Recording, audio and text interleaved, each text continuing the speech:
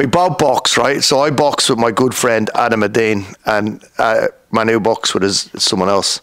But Manu's been boxing longer. And I would say, right, I'm faster, but Manu's more of a heavyweight. Get that heavyweight, you get it? I'm a bit more lighter weight. so we're in different divisions, but Frenchie's uh, he's a bit heavier than me.